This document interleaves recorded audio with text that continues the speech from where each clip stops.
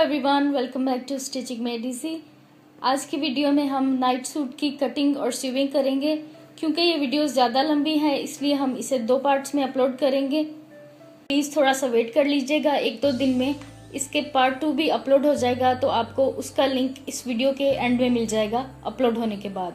अगर आप पहली दफ़ा हमारी कोई वीडियो देख रहे हैं तो इस चैनल को सब्सक्राइब ज़रूर कर लीजिएगा और सब्सक्राइब करने के बाद बेल आइकन पर भी क्लिक करें, वरना उसके बगैर आपको हमारी वीडियोस की नोटिफिकेशन नहीं मिलेगी। शुरू करते हैं आज का ट्यूटोरियल। अस्सलाम वालेकुम लिनन के कपड़े से सूट तैयार कर रहे हैं। उसके लिए पौने चार मीटर कपड़ा लिया है और जो पाइपिंग लगेगी, वो ये लगाएँगे। ऑफ़ वाइट कपड़ा है और हाफ़ मीटर या उससे भी कम कपड़ा ले लें आप। तो सबसे पहले हम शर्ट की लंबाई और चौड़ाई बताते हैं। 26 इंच हम इसकी लेंथ तैयार रखेंगे, लेकिन चार इंच इससे ज़्यादा रखी है कुछ कटिंग में आ जाएगी और कुछ नीचे से फोल्ड होगा। और इसकी चौड़ाई है 20 इंच चौड़ाई इसकी तैयार रखेंगे। और 21 इंच से थोड़ी ज़्यादा है जो इस वक्त हमने रखी है, और इसका किनारा उतार लेंगे, क्योंकि ये धुलने से खींच जाता है। तो इसको पहले हम रिमूव कर देते हैं।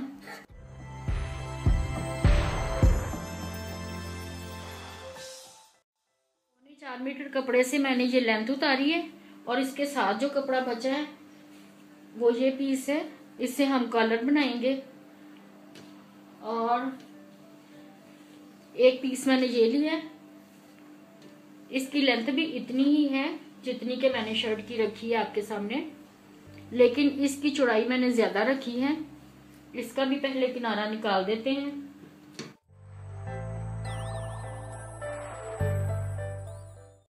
ये हम कोट कॉलर बना रहे हैं और उसके लिए इसके अंदर पट्टी लगती है, पाँच छः इंच चौड़ी पट्टी लगती है तो वो हम अलग से नहीं लगाएँगे, बल्कि इसी में से निकालेंगे।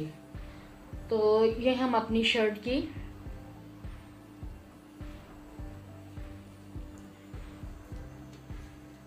ये हमारी शर्ट की चौड़ाई है और लंबाई। और ये एक्स्ट्रा कपड़ा है। ये साढ़े छ इंच है एक्स्ट्रा कपड़ा। ये अंदर की तरफ़ मोड़ेंगे। एक इंच, एक डेढ़ इंच की पट्टी आएगी और बाकी कपड़ा अंदर फोल्ड होगा। अब हम शोल्डर की कटिंग करेंगे। तो उसके लिए हम सात इंच रखेंगे और हाफ़ इंच इसका सिलाई का मार्जिन रखेंगे। और लेंथ भी सात इंच ही रखेंगे आर्म होल की। इस तरह।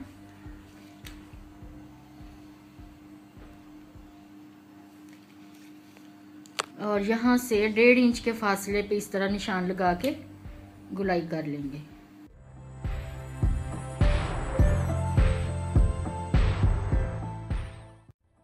ये जो कपड़ा हमने एक्स्ट्रा रखा है शर्ट के अगले अगले हिस्से का, वो हम इस तरफ़ निकाल रहे हैं, गले की तरफ़।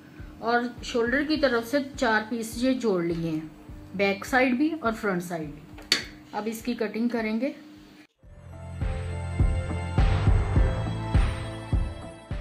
ये इसके आर्म होल की कटिंग है और ऊपर से हाफ़ इंच इसकी शोल्डर से फिटिंग का काटेंगे।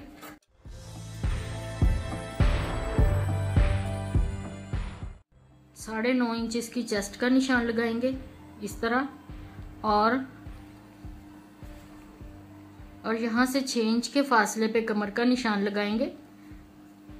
आर्म होल से नीचे कमर का निशान लगाएँगे और कमर हम रखेंगे आठ इंच।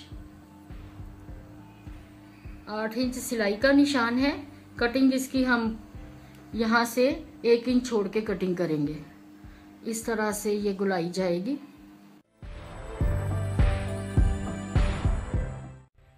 हमारी सिलाई का निशान है और यहाँ से एक इंच छोड़ के इस तरह कटिंग कर देंगे। अगर आपने आर्म होल लंबा रखना है, ज़रा खुला रखना है तो यहाँ से आधा इंच इसकी बढ़ा देंगे, नीचे से कटिंग करेंगे।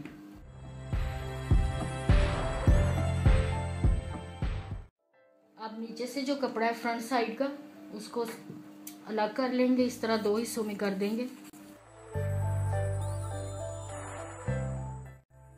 से निशान लगाएँगे। ताकि फोल्ड करने में आसानी हो। आखिर तक नीचे तक इसका निशान लगा लेते हैं। बैक साइड उठा लेते हैं और इसको अलग रखेंगे। अब बैक साइड से हाफ़ इंच इसकी कटिंग कर देते हैं, इस तरह, थोड़ी सी बिल्कुल। अब जहाँ हमने निशान लगाया है इसे यहाँ से पकड़ेंगे और इस तरह इसे फोल्ड कर देंगे। ये हमारी डेढ़ इंच की पट्टी भी निकल आई है और जो कपड़ा अंदर लगाना था वो भी हमने साथ ही उसकी कटिंग भी कर ली थी। पहले ही ज़्यादा रख लिया था। अब इसके गले की कटिंग करते हैं। तीन इंच ऊपर की तरफ़ निशान लगाएँगे और चार इंच पे नीचे की तरफ़ निशान लगाएँगे। इस तरह। और इसे इस तरह गुलाई में निशान लगा लेंगे। तीन इंच ऊपर की तरफ़ से है और चार इंच ये गहरा है। अब इसकी कटिंग करेंगे। अब एक निशान हम यहाँ लगाएँगे। दो इंच के फासले पे इस तरह कट लगा लेंगे।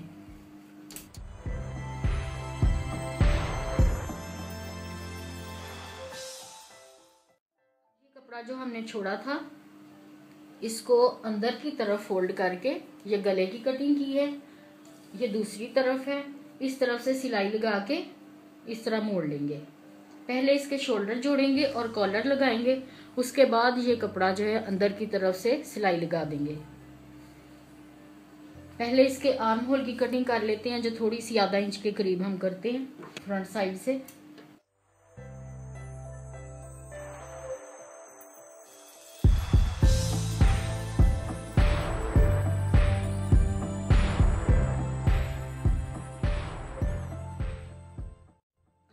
हमारी फ्रंट साइड की शर्ट की कटिंग हो गई है। अगर आप इसकी लेंथ कम करना चाहें तो कर सकते हैं। हमने इसे दो इंच के करीब अंदर मोड़ना है और इतनी शर्ट रह जाएगी।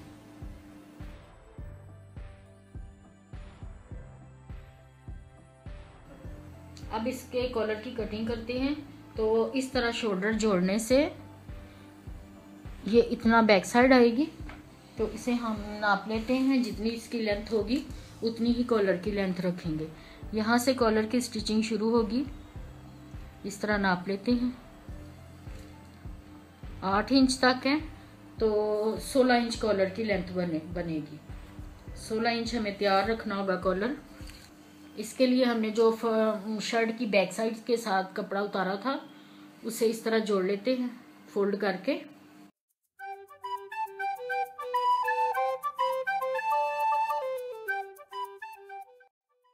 आठ इंच तैयार रखना है हमें कॉलर तो हम साढ़े आठ इंच रखेंगे यहाँ से, इस तरह। और चार इंच इस तरफ़ से रखेंगे।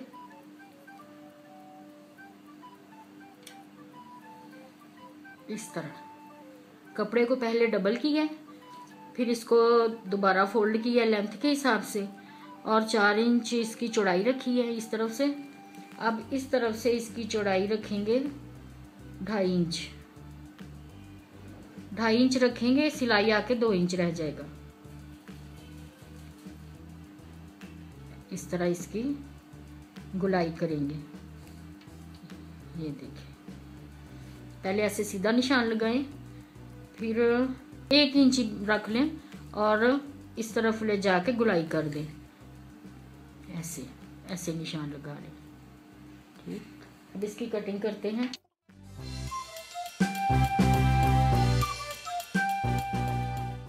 यहाँ सेंटर में कट लगा लें ये हमारा बाकी पीस है तो इसमें से हमने ट्राउज़र भी निकालना है और स्लीव्स भी निकालने हैं। तो हमारे ट्राउज़र की लेंथ 34 इंच तैयार है। पूरा ही है कपड़ा। तो इसके नीचे पाइपिंग लगानी है तो अंदर की तरफ़ हम कपड़ा लगा लेंगे, जोड़ लगा के फिर इलास्टिक डालेंगे। यहाँ बेल्ट लगा लेंगे। इलास्टिक वाली बेल्ट लगाएँगे, आगे दो इंच की वो आ जाएगी, ऊपर। तो इस हिसाब से थर्टी फोर इंच पूरा हो जाएगा। फ़िलहाल ये थर्टी फाइव इंच है, ये रेप सारी निकालनी है अभी। थर्टी फाइव इंच है तो तैयार हमें थर्टी फोर चाहिए। इसकी विथ रखते हैं।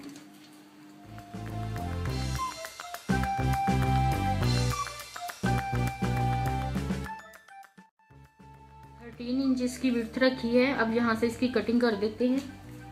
इस पीस को लग कर लेते हैं।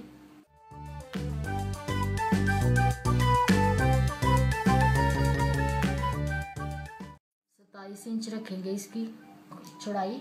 ट्राउज़र की यानी टोटल चौड़ाई जो है वो सत्ताईस इंच रखेंगे। सिलाइयाँ आके तो छब्बीस इंच रह जाएगी। अब ये कपड़ा निकाल लेते हैं। इसमें से इसके बाजू बनाएँगे।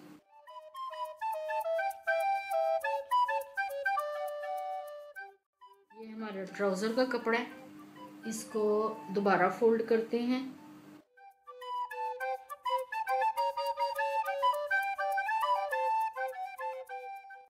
इसकी क्रोच रखेंगे हम दस इंच। दो इंच की बेल्ट आएगी तो ये बारह इंच हो जाएगी। तो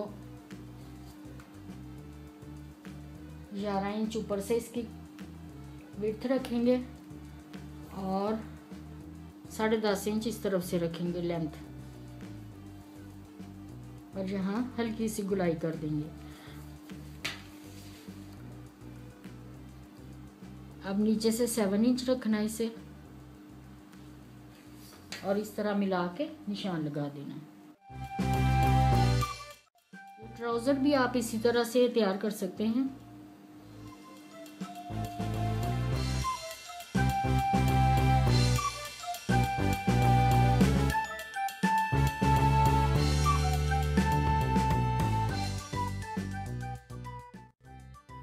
था तो इसकी कटिंग करके अलग कर लेते हैं।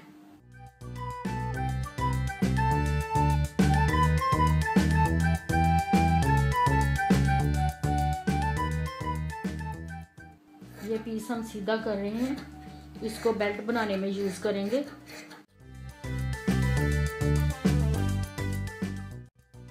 ये ऊपर इलास्टिक की बेल्ट लगाएँगे।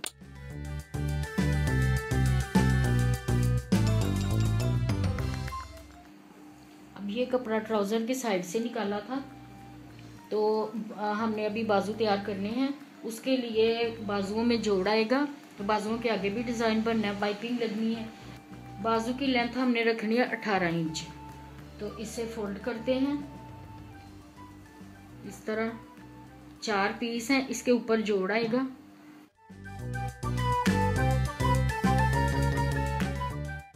अठारह इंच लेंथ रखनी है बाजू की। तो आगे हम इसके पट्टी लगाएँगे और फोल्ड करके बाहर की तरफ़ उसके ऊपर पाइपिंग लगाएँगे। तो इसका रखेंगे आठ इंच आठ इंच शोल्डर की तरफ़ से और सात इंच बाजू के आगे से रखेंगे। और इसको मिला के इस तरह कटिंग करेंगे।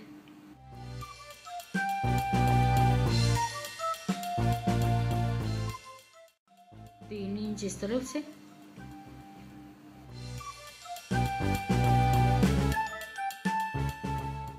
यहाँ ऊपर की तरफ़ जोड़ आना है। अगर आप चाहें कि जोड़ ना पता चले कि जोड़ आना है यहाँ तो आप इसमें भी पाइपिंग लगा सकते हैं और डिज़ाइन भी लगेगा और बाजू के जोड़ का भी नहीं पता चलेगा।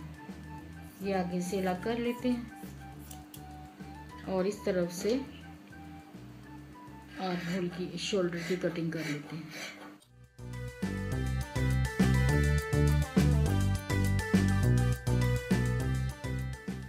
कटिंग करने के बाद अब इसकी स्टिचिंग शुरू करते हैं। सबसे पहले बैक साइड और फ्रंट साइड के शोल्डर जोड़ेंगे।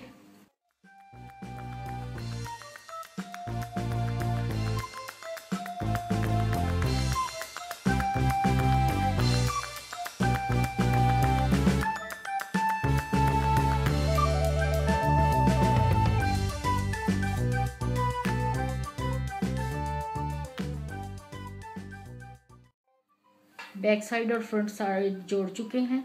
अब ये जो कपड़ा हमने एक्स्ट्रा लिया था, इसको अंदर की तरफ़ फोल्ड करेंगे और इसका कॉलर लगाएँगे।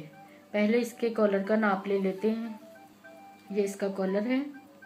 बैक साइड पे जो निशान है सेंटर का, वहाँ कट लगा लेते हैं।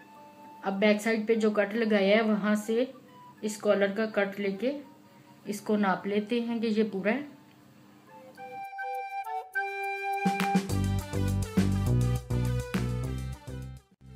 कॉलर के दोनों तरफ़ सिलाई लगा लेते हैं।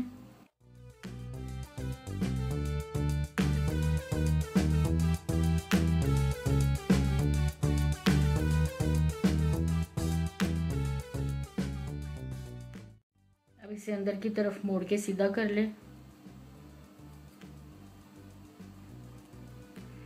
ये हमारा कॉलर तैयार है। अब ये कपड़ा जो अंदर की तरफ़ छोड़ा था, उसको फोल्ड करेंगे। यहाँ। इस तरह से फोल्ड करेंगे। इस पट्टी को यहाँ सिलाई लगाएँगे। ये कट लगाया है दो इंच के फासले पे वहाँ तक।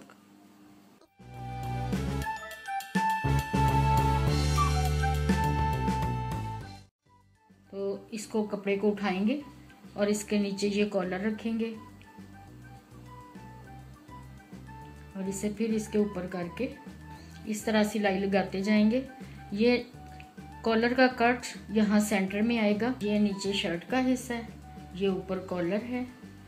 और ये पट्टी जो कॉल शर्ट के अंदर जो कपड़ा छोड़ा था, वो है।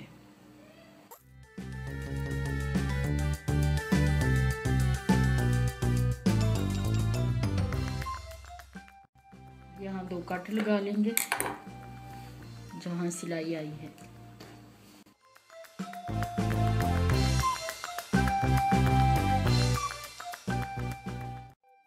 आपने कॉलर लगाना है और साथ साथ इसे नापते रहना है कि ये ना बढ़ जाए, ना कम हो। इस तरह पूरा आए, कट के ऊपर पूरा आए।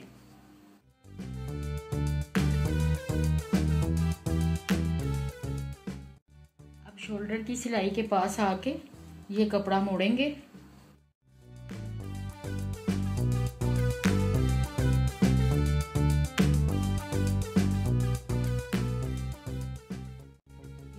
कॉलर आएगा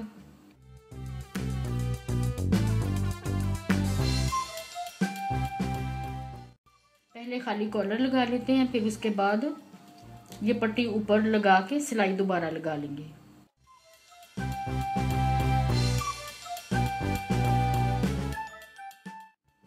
इस तरह कॉलर की सिलाई लगा के फिर इस कपड़े को फोल्ड करेंगे। और इस तरह जब कपड़ा ये यहाँ तक आएगा शोल्डर की सिलाई तक तो इसे फोल्ड करके इसके ऊपर भी सिलाई लगा देंगे।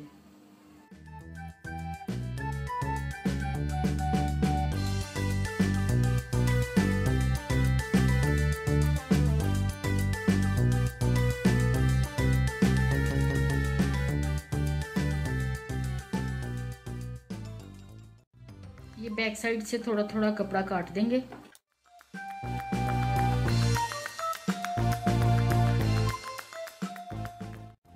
कॉलर के अंदर की तरफ़ छोटे छोटे कट लगाएँगे